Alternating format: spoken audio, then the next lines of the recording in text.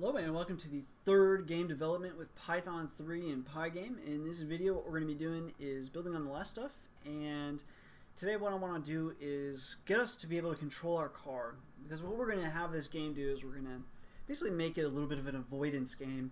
We're going to be avoiding objects on the quote-unquote roadway and to do that we need to be able to swerve left or right. So we want to be able to control our little race car that we've loaded to screen. So uh, that's what we're going to be doing. So we're going to handle some logic here. So like I was saying before, this is your event handling loop, and then you might have a little bit of a logic loop. Um, but for now, in our event handling loop, that's going to handle all of our movement based on user input. So um, if event type equals pygame.quit, crashed equals true, everybody everybody's you know good. Um, and if crashed equals true, it just ends and then it goes pygame.quit, quit. Eventually we'll change that, but we're gonna have like a whole kind of game over thing and stuff too. So we'll worry about that in a little bit. So we'll come down here and um, it's asking basically the first thing we ask is if it's a quit, then we quit. Otherwise, uh, we can also ask if event dot type equals pygame dot and then in all caps key down. And what this is going to ask is if there was a, a, a key press at all, like Key down just means did someone push a key down? That's it. If there was a, a, um, a key down, then we're going to say if event dot key equals pygame dot on all caps again k underscore left, and that's going to respond to our left arrow key.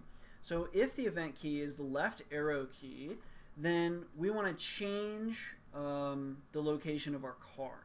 Now we don't have a variable for the location, like to change the location of the car. So here we're going to say, um, just under x and y, we can say uh, x underscore change equals 0 for now. Um, and then we can come down here back into our while loop. And then if pygame, or if, if it's a, a, a left arrow, then we want to move x left, right, left, right. I crack myself up.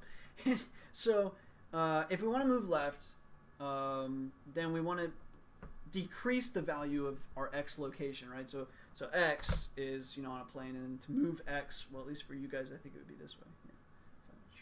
To move x this way, we have to subtract from the x uh, value. So we'll say x underscore change equals negative 5.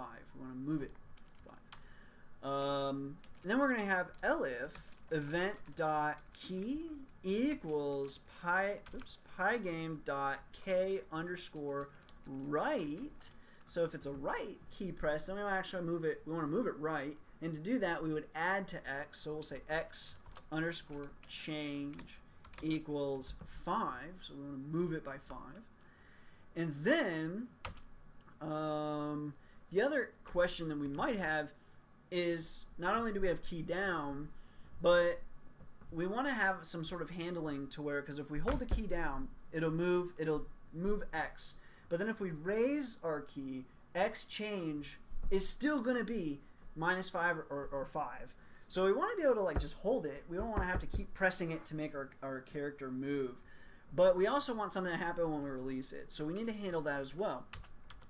So over here, we're going to say if event dot type equals pygame dot in all caps key up. So if the key has been released and it moves up, what do we want to do? And let's make some space here. If that is the case, then what we want to do is if um, event dot key equals pygame dot k underscore left or event dot key equals pygame dot k underscore right. So if the key that's being released here is either the left or right arrow, then we want to say x underscore change equals zero. We want to make that you know zero so it doesn't change anymore and because otherwise you know we could have other functions like you know you could press spacebar or something or p for pause and stuff like that. So you know there might be other things. For now, it'll the only keys that we're going to have in this game are left and right, anyways. But uh, just just to keep things simple, we'll do it this way. And now um, we want to exit everything. So this is our we're we're done with event handling in in, um, in our Pygame, and now we want to change variables based on the events that have occurred. So we know how much we want to change it by. What variable do we want to change? Well, we want to change x, which is the location, right, of our car, because every every frame we redraw the location of our car. So now we want to change the value of x. So we're going to say x plus, oops, plus equals x underscore change. So when it's minus 5, it's going to be plus equals minus 5, which means we'll subtract. Or if it's 5, it'll be plus equals 5, which means it will add 5 to the value of x. Or if it's 0, it will just plus equals 0, which will do nothing. And that's it. So now we're ready to go ahead and save this, and we can run it, and up pops our car. Cool. And we can press arrows. Good. It moves. Moves left, right. Wow, so much agility. Now the only thing that's kind of problematic with uh, Pygame is if sometimes you can get like stuck, like here and I'm actually pressing my left arrow key, but for whatever reason it is uh, it got stuck. Like you can kind of play around a little bit, but you'll get stuck sometimes. So that adds a little bit of frustration to the game. You almost have to fully lift up your key and then press over your key. Um, and um, one, a couple of things that you, you could try to play with these options here. Uh, so for example, uh, we could do something like this. You can remove all your elif statements. So we could save and run it again. And now you know in theory it should still run that statement but for whatever reason it doesn't seem to want to run my the, the other key press that's happened. So in theory if you were to press both keys at the same time you should get a reaction like you were pressing both at the same time but for some reason it just doesn't work that way um, or maybe you're just not pressing at the same time I don't know but anyway, that's the only thing that can get kind of frustrating. So you almost have to like double press a key sometimes. But um, you could tinker uh, a little bit with those to see if you could uh, figure out a fix. Uh, let's see if we can move clock tick down as well. See if we can get that to go away maybe. Yeah, so it still remains no matter uh, what what it is. But as you can see, that's now I guess would be a good time to talk about frames per second. So since our move uh, is uh, well, I guess it's five here. We see that uh, you know it changes by five.